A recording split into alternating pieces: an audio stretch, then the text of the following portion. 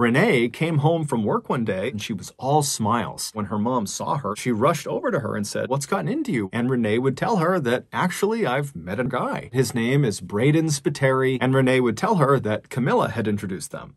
Camilla Zaidan was Renae's best friend. Every single time they were set to go meet, one of them would have a conflict. They kind of stopped trying to have face-to-face meetings. And so this digital-only relationship between Renae and Braden continued for almost a year until Renae's mother, Teresa, got a text message from Braden and it said, you need to check on your daughter. She's talking about killing herself. And her mother sits down next to her and says, honey, are you okay? And Renae would look up at her mom and say, we just broke up. Our relationship is over. A few hours later, Teresa received a text message from her daughter and it started with, Mom, I love you so much and I'm sorry for the pain I'm about to cause you. You can still talk to me though. Just call out my name and I'll be there.